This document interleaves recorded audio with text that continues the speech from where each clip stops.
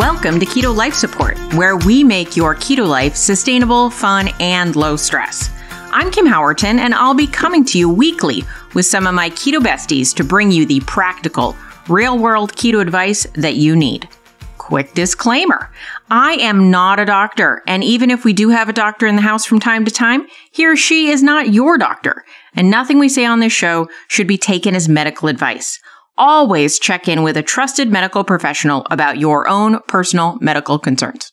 Welcome to Keto Life Support. This is Kim Howerton, and this is episode number 92. And this, I think, will be a short episode because I got something I got to get off my chest.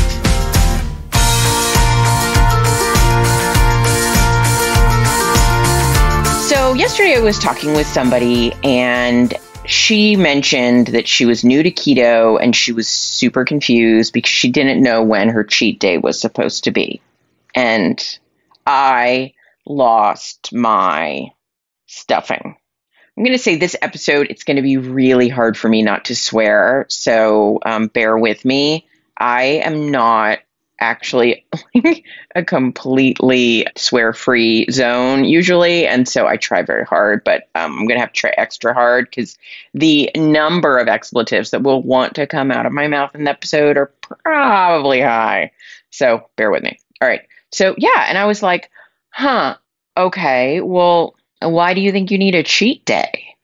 And then we got into it and you know there's there's a lot of talk out there in the world about but there's sort of two. One is like you need a cheat day and the other one is like well you get a cheat day right? Like you can have one. And you know but it makes me so crazy.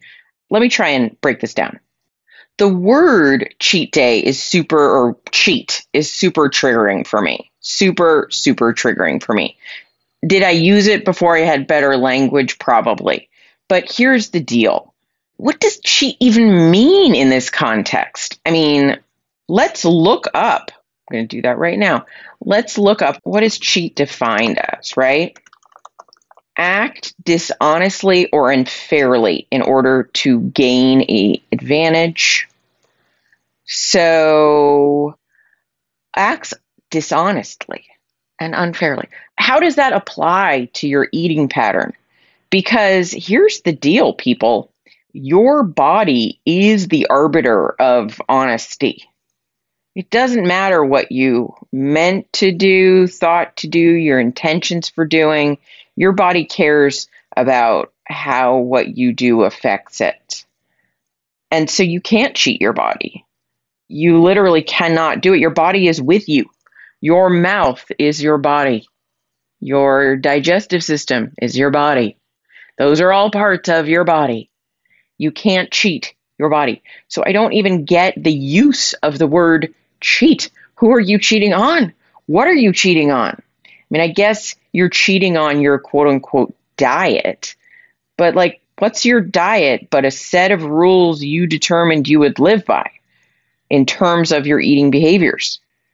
So you now decided to vary your eating behavior in some way. So now, how is that a cheat again? It's not a cheat, it's a choice. You're making a choice about how you're eating. So I think the word cheat should really not apply to diet at all. And so cheat is out the window. So now, okay, so now you can actually have a grown up discussion because talking about how you're going to cheat and your cheat day and when's my cheat day and can I have a cheat day, I'm not talking about the people that hear this. I'm talking about the influencers out there in the world who encourage this, the trainers, the teachers, just using influencers as kind of a blanket statement. People who influence people's diets. I don't mean they have a big Instagram following necessarily, just that they influence people. When they promote these ideas, it perpetuates this diet culture issue that diets are short term, right? If your diet is such that you can't stop and think, I have a choice to make, I'm going to make this choice, I'm going to make that choice. If life is just a series of choices, then being in a paradigm, I'm using big words instead of swear words, paradigm, being in a situation where you have designed your diet so that it is restrictive in a way that you feel the need to rebel against, right? Because cheating is rebellion on some level. Something has gone wrong. And so, people out there in the world who are talking about these cheat days, that's an immediate no. That's an immediate fail. That's an immediate what the F from me about what's going on. It is a, as they say, red flag. So if an influencer or teacher or somebody out there is really serious about incorporating what they are referring to as cheat days in your program, I would have a serious talk with yourself about why you're listening to this person. They might have some other good points, but that point is a really bad point. Now, am I saying that it is inappropriate to ever deviate from a fixed plan? No, I'm not saying that. Am I saying that if you generally don't eat sugar, is it always the wrong choice to eat something that includes sugar? No, I'm not saying that. I'm saying that all of these things should be made as conscious, intentional, thought out choices because you're an adult. If you're listening to this podcast, I hope you're an adult. Very interesting child if you are. But you're an adult. You make choices about your food. You eat things I mean, sometimes those choices are based entirely on pleasure. That is okay, but it is a choice. Now, some people out there in the world talk about using these quote unquote cheat days, I say with disdain, as a way to sort of like bump up your caloric intake or rev up your metabolism or whatever. And I'm not against the concept of changing up your nutrition in any way, shape, or form. I periodize my fat loss. I go through periods where I eat less and periods where I eat more. And I don't necessarily think it's always the wrong idea to have a day, two days, three days, some time during the week where you have a little bit more food, you eat a little bit more. Those aren't cheat days. Those aren't binge fests.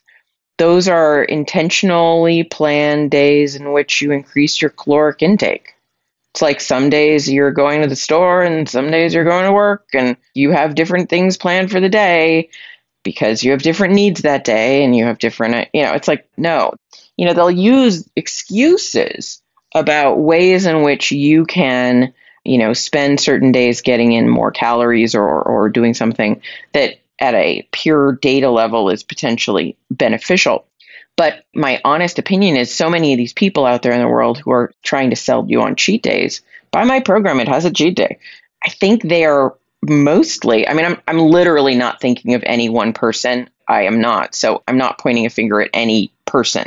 But my general feeling about people that engage in this kind of discussion is that they have severely disordered eating patterns and they generally are very restrictive with themselves about their diet. And so they kind of decide on the day that they open up the door to eating more food, it's not just a slightly more food day, it's a binge day. And so they just continue to cycle through the restrict, binge, restrict, binge cycles that are an eating disorder having had an eating disorder, I am familiar with these patterns and I am a big no to continuing to tolerate these patterns.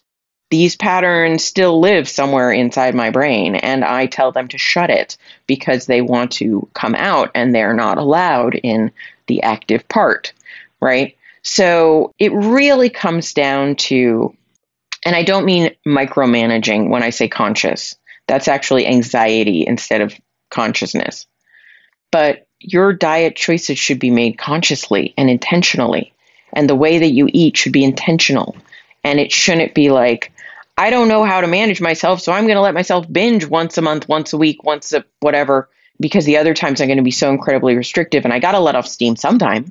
No. There's this thing called flexible dieting, and flexible dieting is just the idea that you include things that are not normally in your diet or I guess there's no not normally in your diet when flexible dieting is the way I'll say it, right? It's like you can include all these foods, but they have to fit in your macros. This is also a place where if it fits your macros comes in, but a lot of flexible dieters will say, no, they're not. If it fits your macros, they believe in eating like good, healthy food most of the time. It's more like 80 20. It's not like you know, all about binging.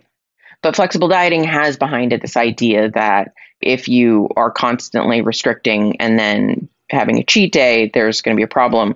And a flexible dieter did a podcast where he talked about comparing his diet to a person who did very, very clean, restrictive eating all the time and then had a binge day once a week, um, which, you know, I'll see people promoting in the keto world, like keto and then a binge.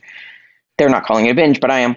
And he compared his diet and he's like, oh, if I average our food intake over the whole week, I'm eating this flexible dieter was like, I eat less crap food and I eat less calories, right? So I bring this up not to say that all of you should be flexible dieters. Most of the people listening to the podcast on keto have tried that and it didn't work for them. But what I'm saying is you can actually, in a binge, destroy an entire week's worth of effort, which is not what I think you're doing that entire week's worth of effort for. So I really want to say, and I know I've done an episode similar to this before, but I was triggered and I had to talk about it. And hopefully, you know, repeating concepts sometimes is important. If anyone in your sphere is trying to encourage you to do a binge day, and I know how it is where you feel like I'm not at the weight I want to be at yet, I'm not as good at this as I want to be yet. I should listen to these people who look brighter and shinier and prettier than me and, you know, wear a smaller size than me and have bigger muscles than me. And I should just listen to them because they must know what they're doing. And the reality is, a lot of the people out there on social media promoting various diets one, were never overweight, two, have probably had plastic surgery, three, are probably taking some sort of performance enhancing drugs, right? Like now I'm, I'm throwing a lot of shade there, but I'm saying you don't know what's going on in the background of their life. And quite honestly, a lot of those pictures of people having like celebratory, cheaty, bingey days, like I bet you they don't eat all that food. They're just taking that food picture for fun. Now, if you decide you want to include foods that are not normally on your plan, I'm not saying that's a problem. I'm not saying that's a problem at all. I'm not saying it's a good thing. I'm just saying it's a choice you can make. But please, for the love of all that is holy, remember it's a choice. There is no such thing as a cheat. There's no such thing as cheating on your diet. Uh, you cannot be dishonest with your body. Your body is there with you while you're doing it. Okay? So I hope this just helps give a dose of reality that keeps you on the straight and narrow when you decide to set up behaviors that will be your downfall. I think that's enough about that subject. I was going to go a little deeper into some other things, but you know what? I'll save it for another episode. I think I've made my point. I hope you have a great week. Stay on the straight and narrow, people. Even if the straight and narrow is pretty wide and loose, but it's honest. All right, guys? All right, bye. Thank you so much for joining us for this episode of Keto Life Support. Want more information? Want show notes? Want to suggest a topic? Just head over to ketolifesupport.com. That's where all that kind of thing can go on. By the way, I have a request. If you could go to your podcast host and hit subscribe, we would really, really appreciate it. And what would be even more awesome is if you could write a review. And what would be even more awesome than that is if you could write like a really flattering review.